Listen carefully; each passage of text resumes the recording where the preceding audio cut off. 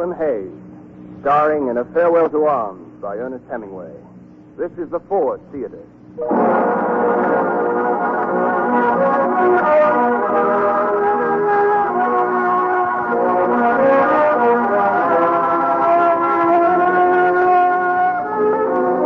The Ford Theater, a full hour of the finest dramatic entertainment with celebrated stars of Broadway and Hollywood, is presented by the Ford Motor Company, builder of Ford cars, Ford trucks, motor coaches, and farm tractors, and Lincoln and Mercury cars.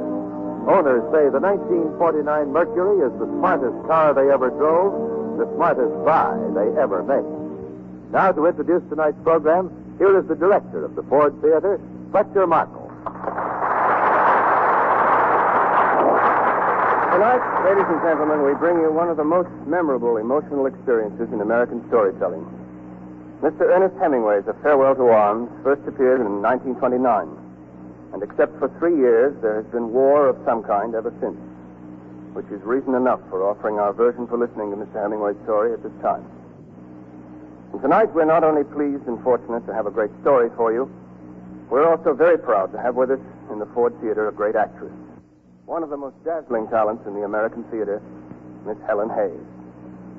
Miss Hayes will be playing Catherine Barkley, the role she created for motion pictures, and with her you'll be hearing Everett Sloane as Rinaldi, Hester Sondergaard as Ferguson, and I'm going to remain at the microphone with them to tell the story of Lieutenant Frederick Henry, an American serving in the ambulance corps of the Italian Army in 1916. Please to begin.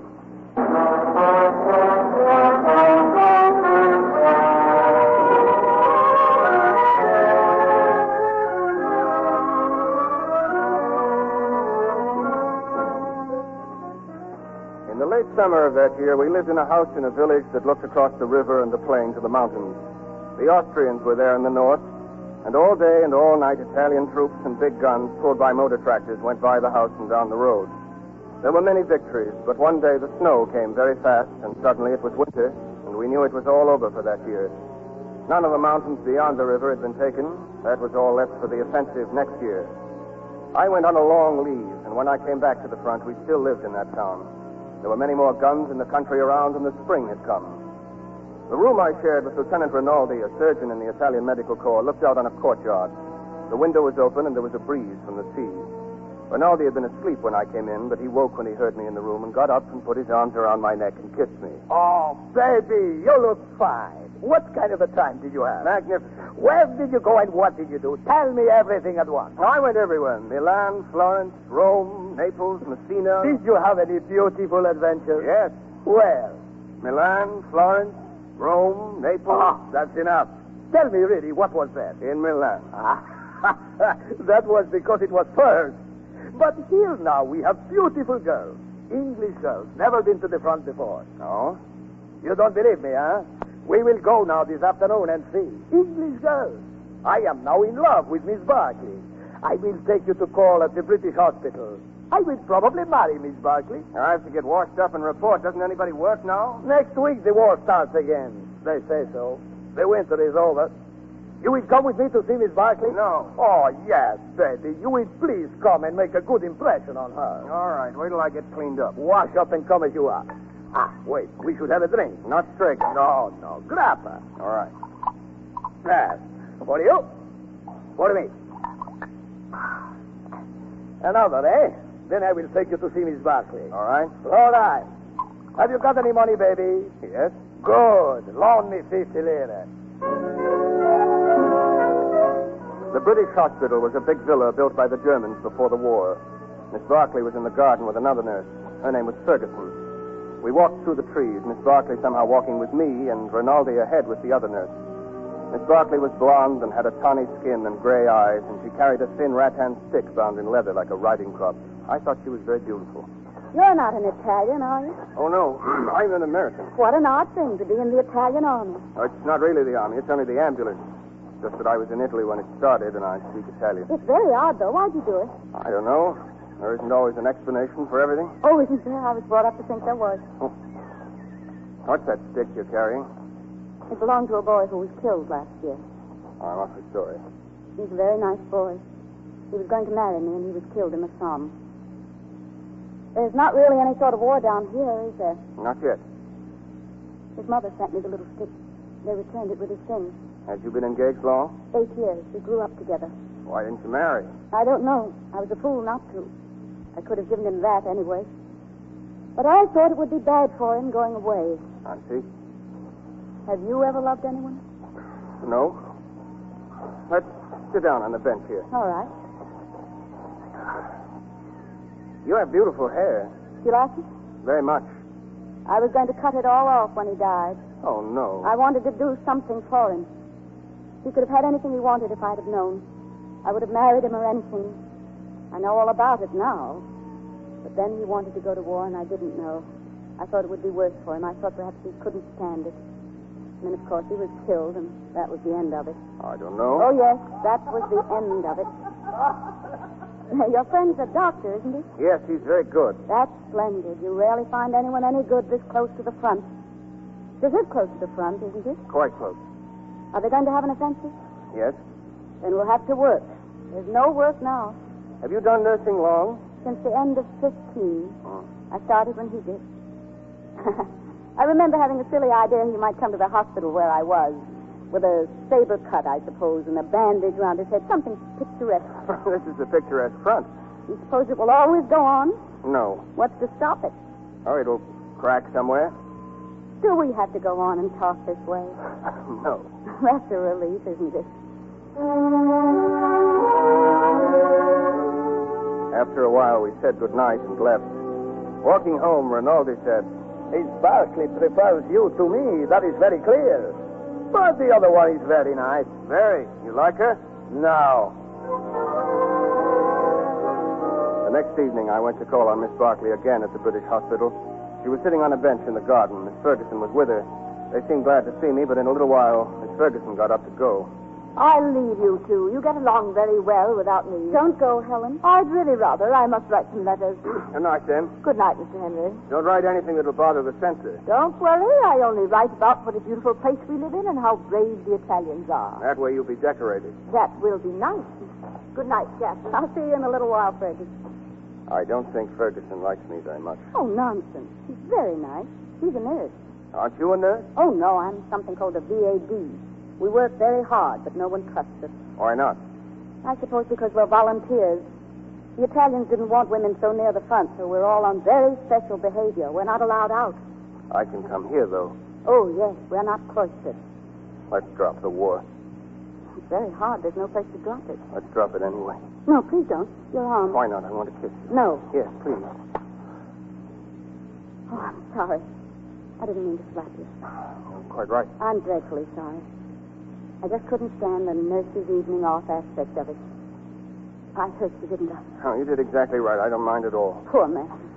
You see, I've been leading a sort of a funny life here, and you're so very beautiful. You don't need to say a lot of nonsense. I said I was sorry. We do get on. we have gotten away from the war. You're sweet. No, I'm not. Yes, you are a dear. I'd, I'd be very glad to kiss you, if you don't mind. I looked in her eyes and put my arm around her as I had before and kissed her. I kissed her hard, and as I held her, suddenly she shivered. I held her close against me, and I could feel her heart beating, and her head went back against my hand, and then she was crying. Oh, darling, you will be good to me, won't you? Isn't there anywhere we can go? No, we have to just stay here. You did say you loved me, didn't you? Yes, Say it. I love you, And you will call me Catherine? Catherine. This is a rotten game we play, isn't it? What game? You're a nice boy and you play it as well as you know how, but it's a rotten game. You always know what people think? Not always, but I do with you. You don't have to pretend you love me. That's over for the evening. There's something else you'd like to talk about? But I do love you. Please, let's not lie when we don't have to. Catherine. Sounds very funny. Catherine. Not the way he said it. You don't pronounce it very much alike. But you're very good. And you will come and see me. Of course. You don't have to say you love me. That's all over for a while. Good night. I want to kiss you. You want to very much? Yes. All right.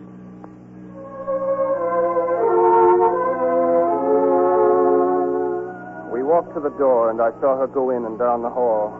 I like to watch her move. I went on home. It was a hot night, and there was a good deal going on up in the mountains. I watched the guns flashing on San Gabriele, and I went up to my room. Oh, you make progress with Miss Barkley, eh, baby? Oh, we're friends. You have that smug air of a cat with a mouth full of canary. And you have the air of an ignorant, uninformed Italian oaf. Good night. Good night, little kitten. the next afternoon, we heard there was to be an attack up the river that night and that we were to take four ambulances there. I was riding in the first car, and as we passed the entry to the British hospital, I told my driver to stop. I hurried up the driveway, and inside the reception hall, I asked for Miss Barkley. She was on duty, and they sent an orderly to find her, and she came back with him, and we stepped outside.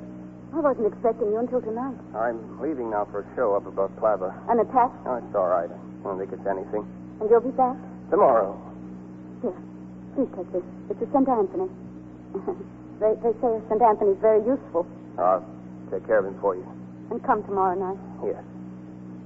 Goodbye. No, not goodbye. All right. You be a good boy and be careful. Catherine. No. Oh, no, you can't kiss me here. You can't. All right. Tomorrow night. We drove very fast, and soon we saw the dust of the other three cars ahead of us, and Manera, my driver, settled back and began to talk. Tenente, there is nothing as bad as war. We in the auto ambulance cannot even realize how bad it is.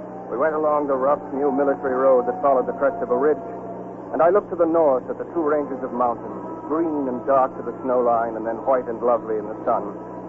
Those were all the Austrian mountains, and we had nothing like them. When people realize how bad war is, they cannot do anything to stop it because they go crazy. There were many troops on the road, and motor trucks and mules with mountain guns. And as we went down, keeping to the side, I could see the river far down below, and under a hill beyond the river, the broken houses of the little town that was to be taken. Some people never realize how bad war is.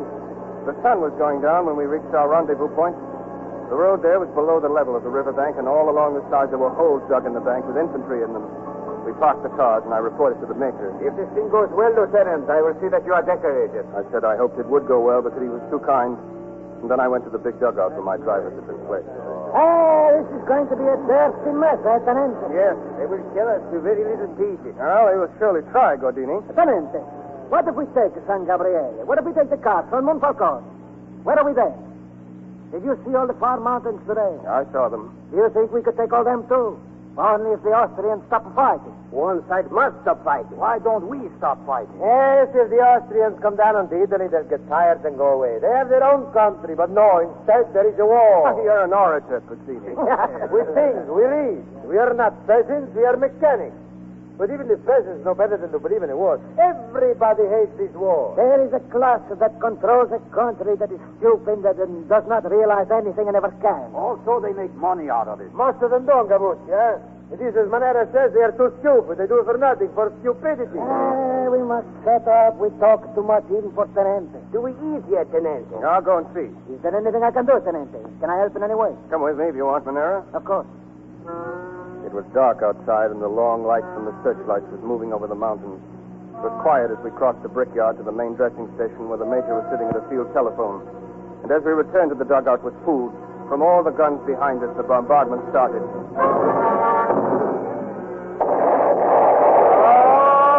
Starting now. Now is the trouble. Hey, 420. No, there aren't any 420s in the mountains. They have big Skoda guns. That's in the hole. 305, Passini. Ah, this is in the deep dugout. That was a big trench mortar. Yes, sir. Oh! Mamma mia! Mamma mia! After the blast and the pain and the floating lights, I heard somebody crying. I tried to move, but I couldn't move. I heard the machine guns and rifles firing across the river, all this in a moment. And then the crying came close. It was Passini. When I touched him, he screamed. His legs were toward me, and I saw that they were both smashed above the knees.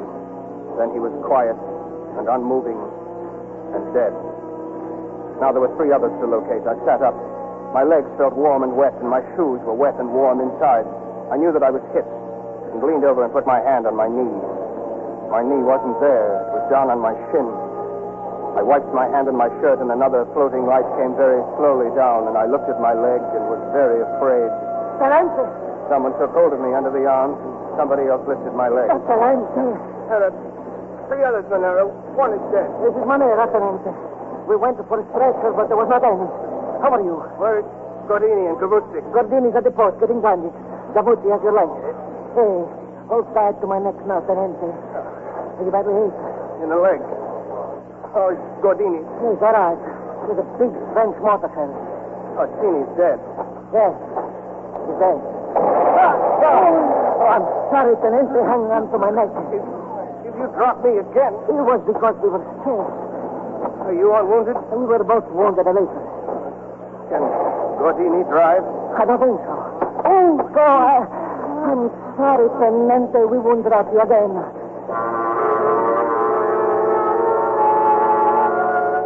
The ward at the field hospital, they told me a visitor was coming to see me in the afternoon. It was a hot day, and there were many flies in the room. Lying on the cot in my dirty bandages, I thought about Catherine seeing my name on the wounded list. I could easily guess what Ferguson would say. It was very obvious to me what Ferguson would be saying. I knew it. Oh, I knew it. Already he's been wounded. You're going to be sorry about this, Catherine. There can be worse trouble than this, and you'll be sorry. Oh, stop it, Fergie. No use talking that way. This time he's been wounded. Next time he may never come back. Never isn't a pretty word. Sometimes you can't use pretty words. Don't go on with this, Catherine. You'll never know about him. You can never be sure. Oh, Fergie, stop it now. No one ever knows anything or is sure of anything in a war. Men go to the front. Some of them come back. Some of them don't. Women can't expect to have any more luck than the men. Very simple, after all. It's a dreadful thing, a terrible way for women to live, but there's absolutely nothing you can do about it. I don't understand why you're talking like this. That's very simple, too, Fergie. I'm in love with him. I'm in love with him, and there's absolutely nothing I can do about it.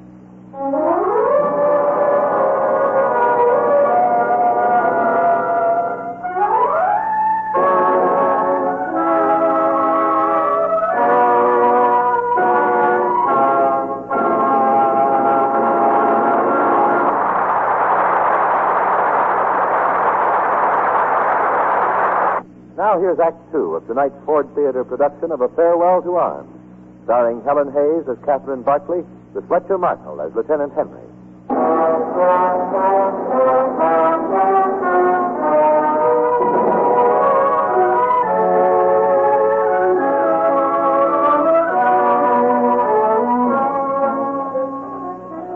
My visitor that first painful afternoon in the field hospital was Rinaldi, he came in very fast and bent down over the bed and kissed me. How are you, baby? How do you feel? I bring you a bottle of cognac and good news. You will be decorated. Huh? What for? Because you are gravely wounded. Tell me exactly what happened. Did you do any heroic act? No, I was blown up while we were eating cheese. Oh, be serious, baby. You must have done something heroic either before or after. Didn't you carry anybody on your back? Gordini says that you I didn't carry anybody. I couldn't move. Well, that doesn't matter. Didn't you refuse to be medically aided before the others? Not very firmly. It doesn't matter. It was all a great success. Did they cross the river? Enormously. How is everything? Splendid. We are all splendid. Everybody is proud of you. And here now is some cognac. Oh, good. There. Drink that, baby. How is your poor head, huh? Oh, I looked at your papers. You haven't any fracture. Only your leg. They will probably have to operate. Ah, that major at the first post was a hog butcher. I would take you and never hurt you. you must forgive me for talking so much, baby. I am very moved to see you so badly wounded. The cognac is good, isn't it? Yes. it ought to be good. It cost 15 lire. Five stars. Rinaldi, have you seen Miss Barkley? I will bring her to you. I will go now and arrange it. You are going to be taken to the new American hospital at Milan, you know. Oh, don't go yet. Tell me about things. Oh, I wish you were going to be back with me, baby. No one to come in at night from adventures. No one to make fun of. No one to lend me money. we are war brothers, and we love each other. You'll be good while I'm gone. I will arrange to send Miss Barkley to Milan. You are better for her than me. You are purer and sweeter. And you're an ignorant, frozen faced, no account son of Oh, don't be angry, baby. Laugh, laugh. Take another drink. I must go, really. Kiss me goodbye. You're sloppy. No, I'm just more affectionate. But I won't kiss you if you don't want. I will send your English girls to Milan. Goodbye, baby. The cognac is under the bed.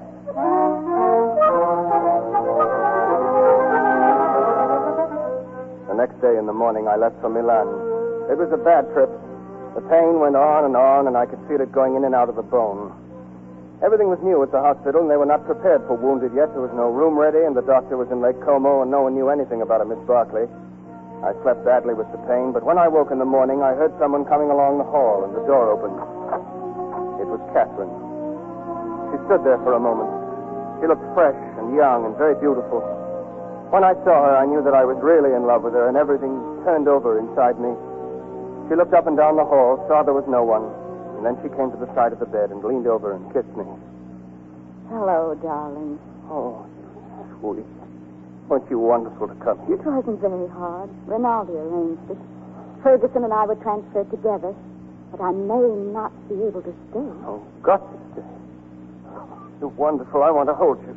You mustn't. You're not well enough. Yes, I am. Please. Feel our hearts beating. I don't care about our hearts. Oh, you're lovely.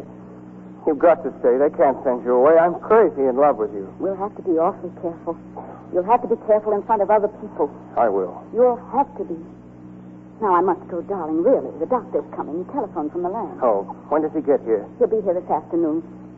I'll come back when I can.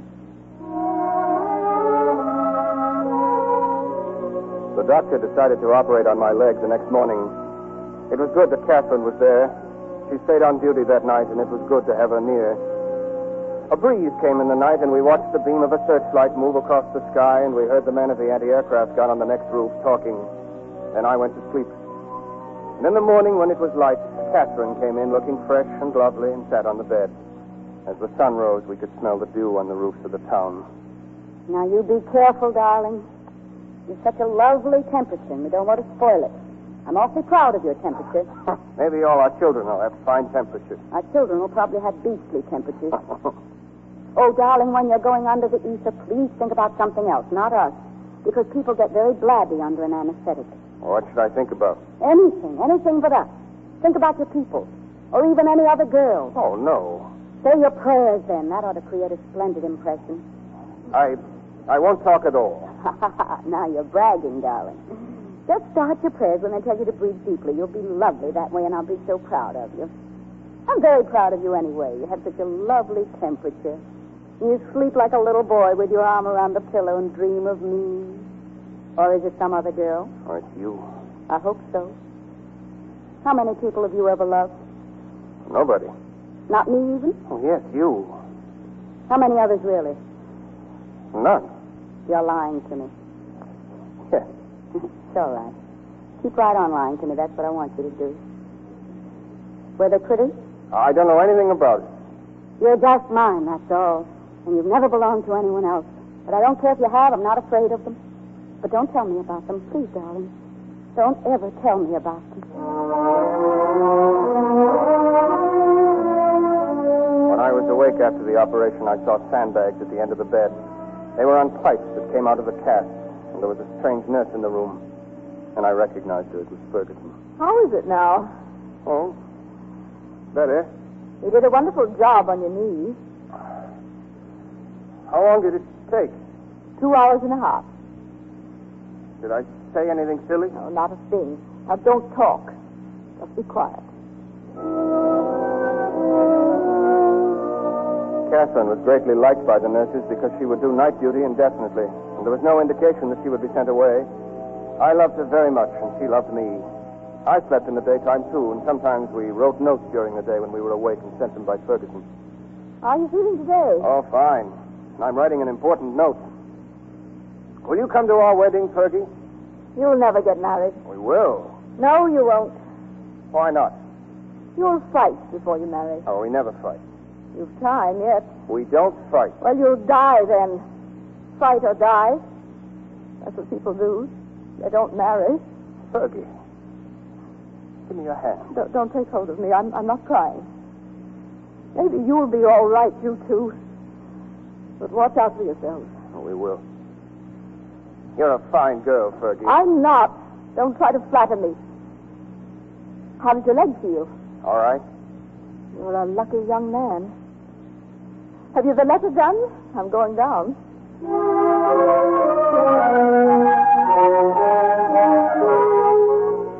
Lovely time that summer. When I could go out, we went to the cathedral and we rode in a carriage in the park. I remember the carriage, the horse going slowly, and up ahead the back of the driver with his varnished high hat and Catherine sitting beside me. If we let our hands touch just the side of my hand touching hers, we were excited. Oh, darling, I couldn't feel any more married. There isn't any me anymore. I'm you.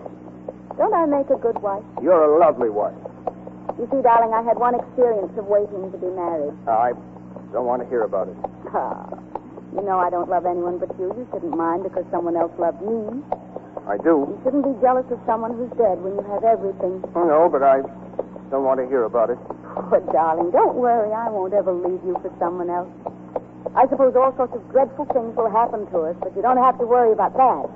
Catherine, I'll have to go back to the front pretty soon. We won't talk about that until you go. You see, I'm happy, darling, and we're having a lovely time. I haven't been happy for a long while, and when I met you, perhaps I was nearly crazy. Perhaps I was crazy. But now we're happy and we love each other. You are happy, aren't you? Hmm? Is there anything I do you don't like? Can I do anything to please you?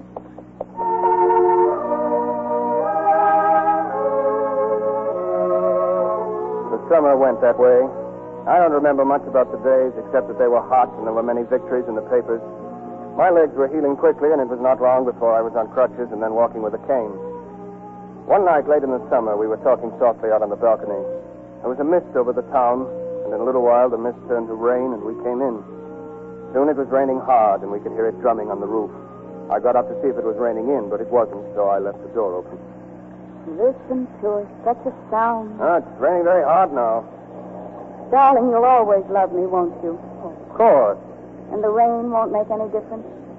No. That's good. Because I'm afraid of the rain. Why? I don't know, darling. Always been afraid of the rain. I like it. I like to walk in it. But it's very hard on loving. I love you always. And I love you in the rain and in the snow and in the hail and what else is there? I don't know. You're not really afraid of the rain, are you? Not when I'm with you. Why are you afraid of it? I don't know. Tell me. Don't make me. Tell me. All right. I'm afraid of the rain because sometimes I see me dead in it. Catherine. And sometimes I see you dead in it. Oh, that's more likely. Oh, no, it's not, darling, because I can keep you safe. I know I can. But nobody can help themselves. Oh, please stop this now. We won't be together much longer. I'll stop it. It's all nonsense. Yes, it's all nonsense. It's all nonsense.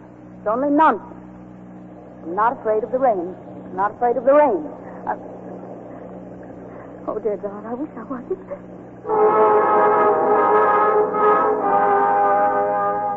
In September, the first cool nights came. Then the days were cool, and the leaves on the trees in the park began to turn color, and we knew the summer was gone. The fighting at the front went very badly, and they could not take San Gabriele. My leg was now as well as it would get for a long time. And in October, I got word that I would receive three weeks convalescent leave and then return to the front. I told Catherine about it as soon as she came off duty that day. Well, that's lovely, darling. Where do you want to go? Oh, nowhere. I want to stay here. Well, that's silly. You pick a place to go, and I'll come too. How will you work it? I don't know, but I will. If necessary, I'll simply leave. You're such a good girl. Where should we go? I don't care. Anywhere you want. Anywhere we don't know people. Oh, don't you care where we go? No. I'll like any place. What's the matter, Catherine? Nothing. Nothing's the matter. Oh, I know there is. Tell me, darling. It's nothing. Tell me. I don't want to. I'm afraid it'll make you unhappy or worry you. No, it won't. You sure? It doesn't worry me, but I'm afraid to worry you. It won't if it doesn't worry you. Do I have to? Yes. I'm going to have a baby, darling. It's almost three months along. You're not worried, are you? Please, please don't. Oh, I'm not worried only about you. That's what you mustn't do. People have babies all the time. Everybody has babies. you are a fine girl. No, I'm not. But I try to be a good wife to you. You are. And please don't worry. We'll be all right. And I'll write you every day while you're at the front. And where will you be? I don't know yet, but somewhere splendid. I'll look after that. Well, we should have a drink to all this. Mm. Would you like a brandy? No, thanks. It only makes me dizzy. But you have one. Didn't you ever drink brandy? no, darling. You have a very old fashioned wife.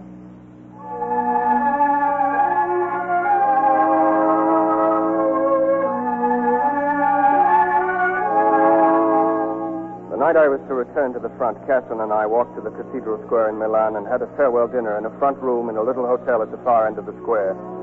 We drank a bottle of Capri and ate very slowly. And afterwards, Catherine said, um, It's a fine room. Ah, you're a fine girl. I'm a very simple girl.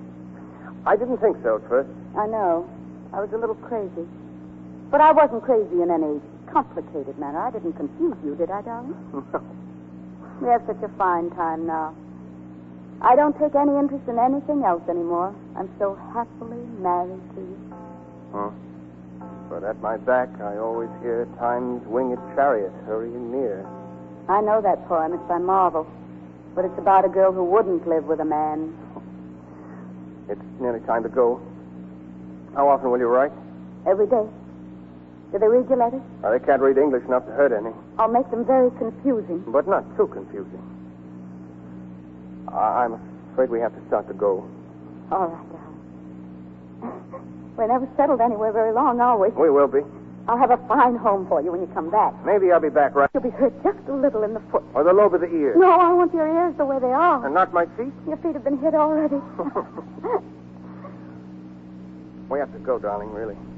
All right. You go first. We drove in a carriage to the station in the rain. The rain was clear and transparent against the lights in the station. We stopped, and I turned to Catherine. Her face was in the shadow from the hood of the carriage. It's raining, darling. Yes? But it's a soft rain. We might as well say goodbye. I can't go in. No. Goodbye, Cat. Will you tell the driver to take me back to the hospital? I have already. Goodbye. Take good care of yourself, young Catherine. Yes. Goodbye, darling. I stepped out into the rain and the carriage started. Catherine leaned out and I saw her face in the light and I heard an echo of her voice. Goodbye, darling. She smiled and waved and the carriage went up the street. Goodbye. I wondered if it was goodbye.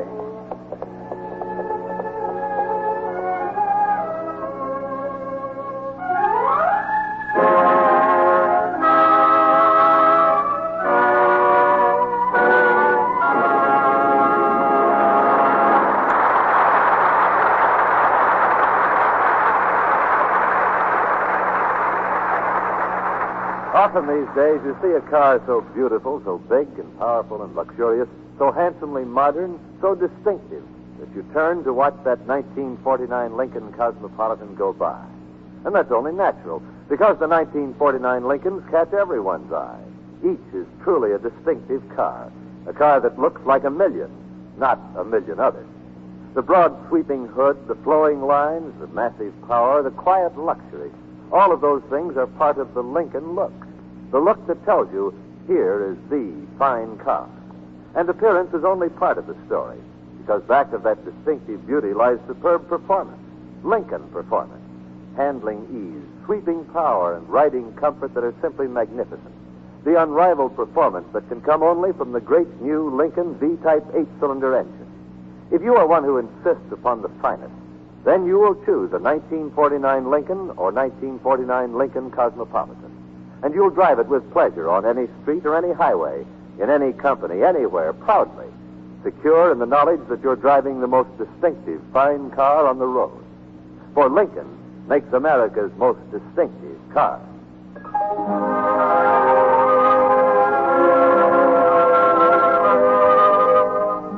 The Ford Theater presentation of A Farewell to Arms will be resumed after a brief pause for station identification.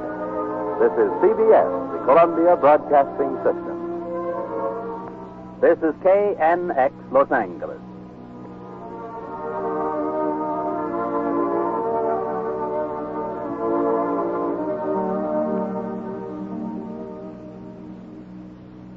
And now we continue tonight's Ford Theater production of A Farewell to Arms, starring Helen Hayes as Catherine Barkley with Fletcher Markle as Lieutenant Henry.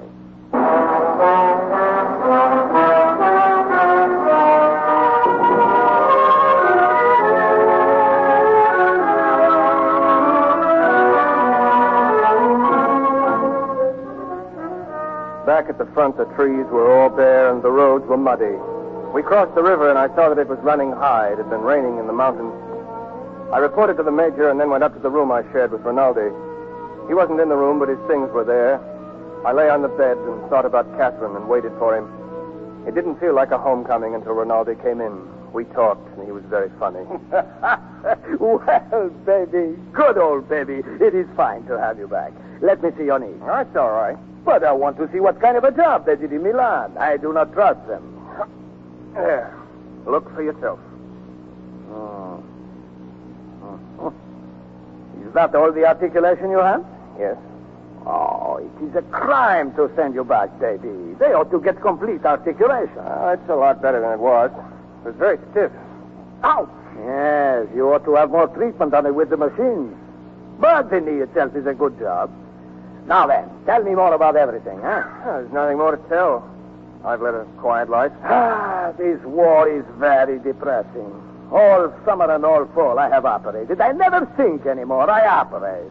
Believe me, baby, I am becoming a lovely surgeon. Good. Come. We will have a drink. It's Austrian cognac, seven stars. It's all they captured on San Gabriele. Oh, were you up there? No, I have not been anywhere. This war is terrible. I've been here all this time operating. Look, baby, this is your toothbrushing glass. I kept it all the time to remind me of you. it reminds you to brush your teeth. No, I have my own, too. Urinate. I know. You are the fine Anglo-Saxon boy. I know. Here. Thank you. Well, we drink to your English girl. Yes. To Catherine.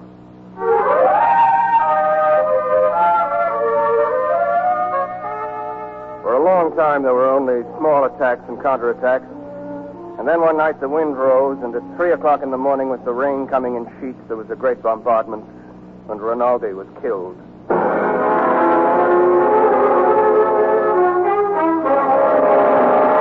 The next night, the Austrians broke through the lines up toward Caporetto, and the order came through to retreat. In the night, going slowly along the crowded roads, we passed troops marching under the rain, horses, wagons, mules, motor trucks, all moving away from the front. At the beginning, the retreat was orderly, wet, and sullen. We moved slowly and haltingly in the rain, the radiator cap of our car close to the tailboard of the truck ahead of us, and there were many stops. Just before dawn, the column stalled and didn't start again for a long time. My driver was exhausted. Ah, we sleep now. Manera slept, and I was alone, and I heard myself say out loud, Good night, Catherine. I hope you sleep well. Try and go to sleep, sweet. I was asleep all the time. You've been talking in your sleep. Are you all right? Are you really there? Of course I'm here. I wouldn't go away. This doesn't make any difference between us. Oh, so lovely and sweet. You wouldn't go away in the night, would you? Of course I wouldn't go away. I'm always here.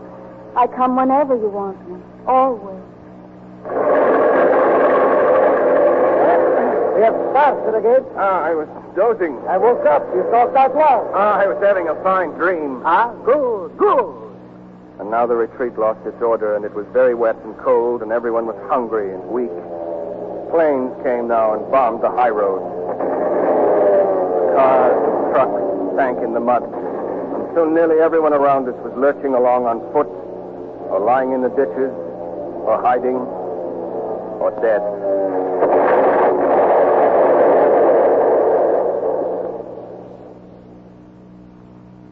You do not know how long you were in a nightmare like that retreat from Caporetto. It is long and slow, and there is no food and no sleep and no time. But when it became rumored that there were Germans in Italian uniforms mixing with the retreat, and that many officers were being shot on the merest suspicion by the Italian battle police, I knew that now there had been enough of all of it for me. I deserted the bruised and broken column I'd been moving with. I deserted the Italian army. I deserted the war.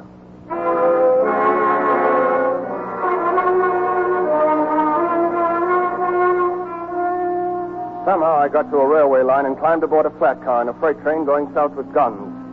I dropped off the train in Milan as it slowed into the station in the early morning. I bought some civilian clothes from a friend and destroyed all of my papers except my old passport. Then I rode out to the American hospital and went to the porter's lodge. The porter and his wife were glad to see me. You are back. You are safe. Yes. Tell me, is Miss Barkley here at the hospital now? Miss Barkley? The English lady nurse. His girl. Oh, no, no, she is away. You're sure? I mean the tall, blonde English young lady. Oh, yes, I'm sure. She has gone to Stresa. That is true. When did she go? Oh, she went two days ago with the other lady English.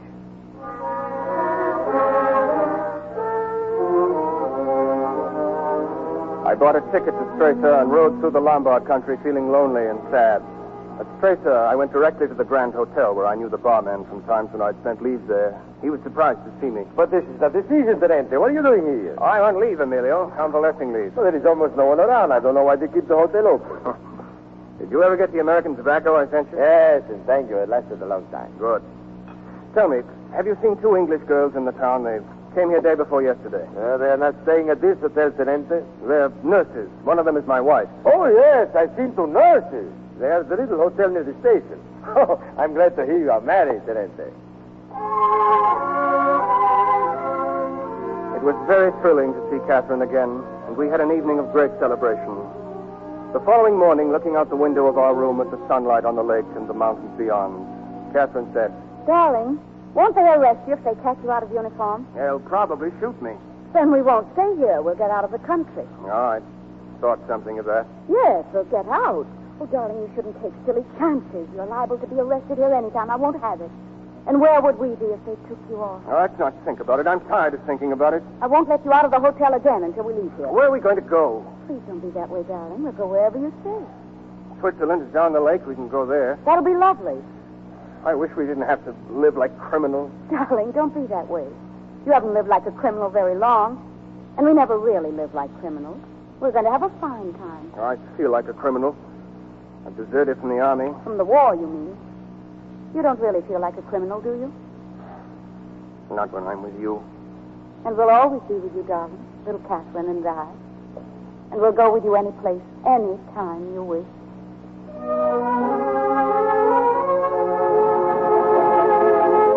That night there was a storm, and I woke to hear the rain lashing the window panes. Someone had knocked on the door. I got up quietly, not to disturb Catherine, and opened it. It was Emilio, the barman. Can I speak to Tenente? What's the matter, Emilio? It's a very serious matter. What is it? Are you in trouble? No, you are Tenente. They're going to arrest you in the morning. Arrest me? I came to tell you I was out in the town and I heard them talking in a cafe. They know you were here before as an officer, and now you are here out of uniform. After this retreat, they arrest everybody. Now, what time will they come? In the morning, I don't know the time. What do you say to do? Go to Switzerland. How? In my boat. Storm is over. It's rough, but you'll be all right. Go right away. They might come to arrest you very early. What about our bags? Get them packed. Get your wife dressed. I'll take the bags out the servants' entrance into the boat. You know where it is, Tenente? Yes, you showed me yesterday. Hurry, Tenente. Just walk out downstairs as though you were going for a walk. We got dressed and went out into the night. There was a cold, wet November wind, and I knew it was snowing in the mountains. We went down to the change boats in the slips along the quay where I had seen the barman's little boat. Emilio stepped out from the shadows. Bags are in the boat, Tenente. I want to pay you for the boat. Send me the money later. That'll be all right. But how much, senor? What do you wish. In the boat are sandwiches and a bottle of beer. Oh, let me pay you for those then. All right. Give me 50 lira. But you'd better get in and let the lady be careful. I will, thank you. Darling, do you know where to go? Up the lake. You know how far? Past uh, Luino. Past Luino, Cannero, Tranzano. The wind is with you, but you aren't in Switzerland until you come to Brissago. What time is it, darling? It's only 11 o'clock. If you roll a time, you ought to be there by 7 o'clock in the morning. Is it that far? Sir, it's 35 kilometers. But when the wind is strong, use the big umbrella for a sail. It will help. Good luck to you, and send me some more American tobacco if you can. I will. Good luck to you. And thank you very much, senor. Good luck. Are you ready, Cat? Yes.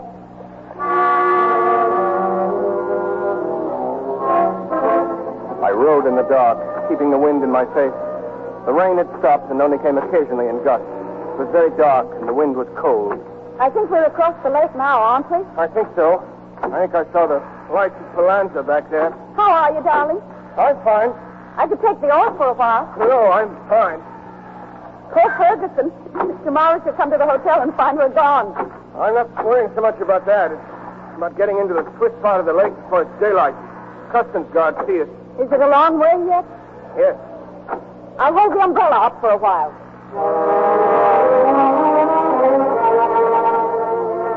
Are you warm enough, Cat? I'm all right, just a little stiff.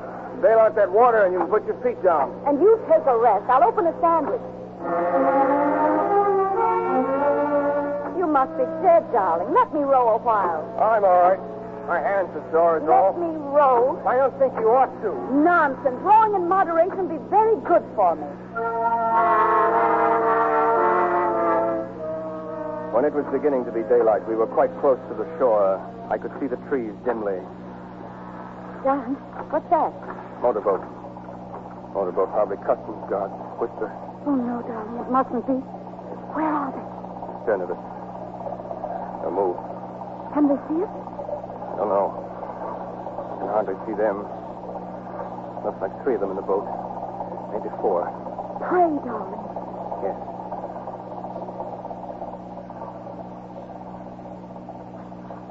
Think we're all right, darling.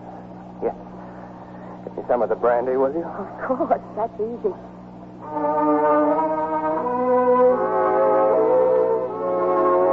We knew we were in Switzerland when it was clear daylight and we saw a Swiss soldier walking along the road skirting the shore. Presently, we came to a little town hunched around the road. There were many fishing boats along the quay and nets were spread on racks. I pulled hard on the oars and brought us alongside the quay. There was a soft November rain falling, and we stood up to the wet stone and stood in Switzerland. That winter, we lived in a brown wooden house in the pine trees on the side of the mountain over Montreux, and it was very fine.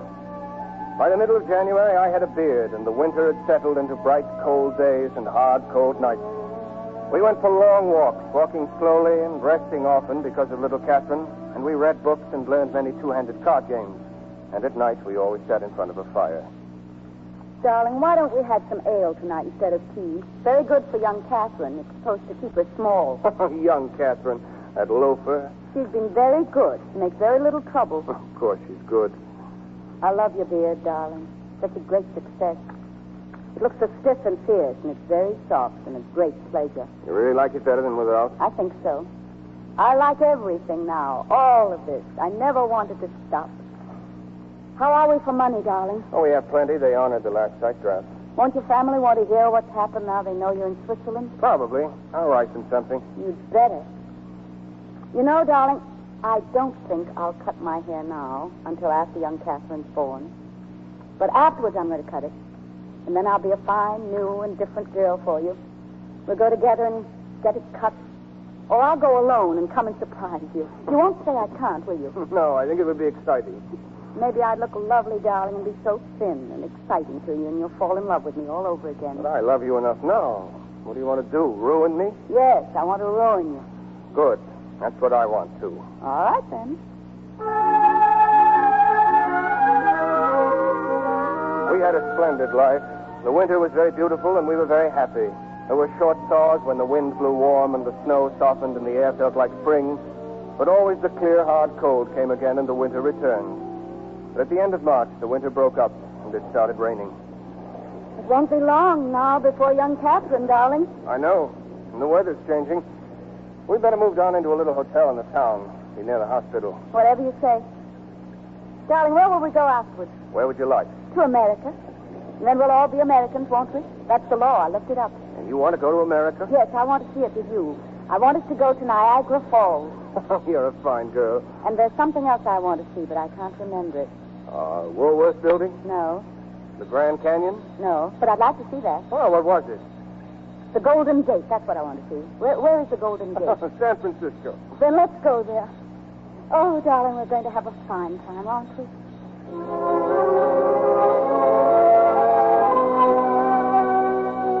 We moved into a little hotel in the town and were very comfortable there. And then one morning in April, I took Catherine to the hospital. After a while, they sent me away and told me to come back later. I went down the empty streets and found a cafe that was open. I drank a little and talked to the old man who ran the place. And then I went back to the hospital. The doctor met me in the hall. You are Mr. Henry? Yes. How does it go, doctor? It does not go. What do you mean? Just that. I made an examination. Since then, I have waited to see. Now I think it is possible only with an operation. Well, what do you think, doctor? I would advise an operation. Have I your permission? The sooner we operate now, the better. Operate as soon as you can. Thank you. I stood in the empty hall and watched the door of the operating room. What if she should die? No, but she wouldn't die, I thought. People don't die in childbirth nowadays. This was what all husbands thought. No, she won't die. She can't die. It's just nature. She can't die. But what if she should die? Mr. Henry, I'm sorry. The baby was born dead. It was a boy. How's she? She's all right. The doctor is with her now. You should go and try and have some supper and then come back if you wish. I went down the hall and then down the stairs and out the door of the hospital and down the dark street in the rain to the cafe. I sat at a corner table for a long time, and then suddenly I knew I had to get back. I paid for whatever it was I had eaten and walked through the rain up to the hospital. Upstairs, I met the nurse on the landing. I just called you at your hotel. What's wrong? Mrs. Henry had a hemorrhage. Can I go in? Not yet, no. The doctor is still with her. Hmm. Is it dangerous? It is very dangerous.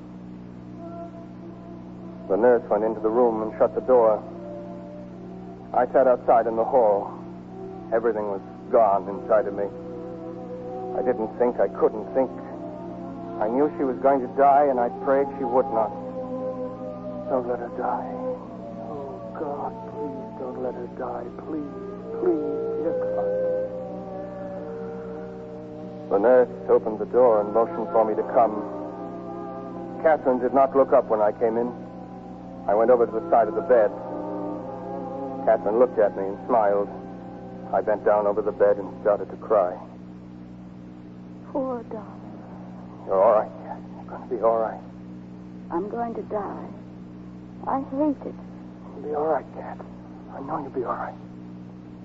I meant to write you a letter to have if anything happened, but I didn't do it. You want me to get a priest or anyone to come and see you? Just you. Just you, darling.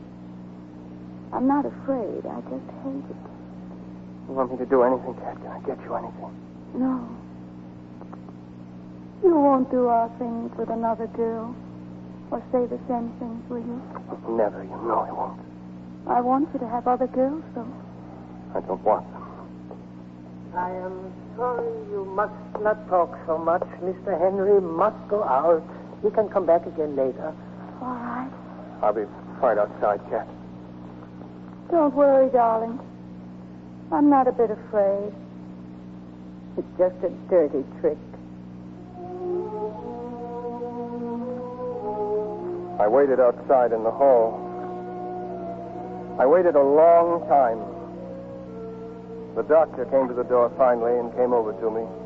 I am afraid Mrs. Henry is very ill. I am afraid for her.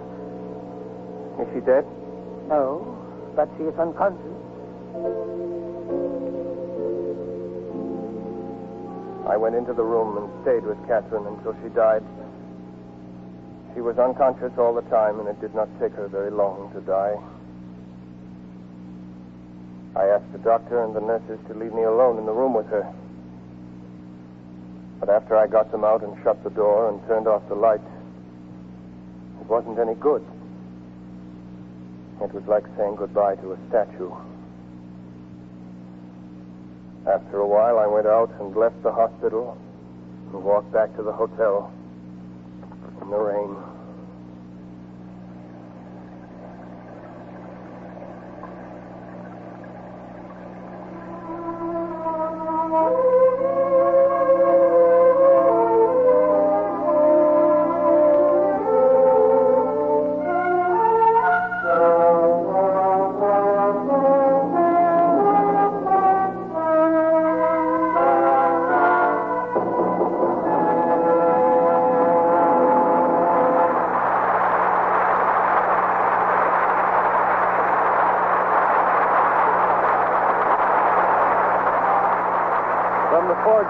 On Broadway, you have just heard Helen Hayes starring in A Farewell to Arms by Ernest Hemingway.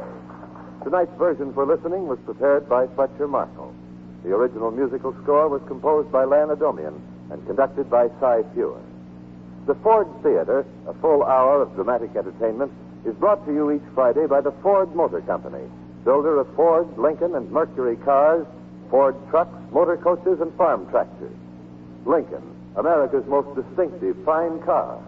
Mercury, smartest looking car in its class. And in the lower price field, Ford, the only completely redesigned car and the most advanced car in its field. When you look at a new Ford, you'll see the difference. When you drive a new Ford, you'll feel the difference. And when you know the difference, you'll buy a new Ford. Now again, Mr. May Director identify the principals in our cast tonight. In the foreground Catherine Barkley. was played and most magnificently played by Miss Helen Hayes. Rinaldi. Was Everett Sloane. Ferguson. Was played by Hester Sondergaard. Manera. Was Robert Dryden. Gordini. Was played by Hedley Rennie. Passini. Was Joe DeSantis. Actively assisting were Walter Black, Miriam Wolfe, Gregory Morton, and Alan Devey. Lieutenant Frederick Henry was played by your director. Now it's for next week. Next week, we bring you the light-hearted romance of a famous writer and an unpredictable girl who, as her uncle said, didn't know her place. Our story is Cluny Brown by Margery Sharp. And our stars are Mr. Walter Pidgeon of Hollywood and Miss Louine McGraw of the London Theater. We hope you'll be with us. Until next week, then, until Walter Pidgeon and Louine McGraw in Cluny Brown, this is Fletcher Markle with a good night, and thank you from all of us in the Ford Theater.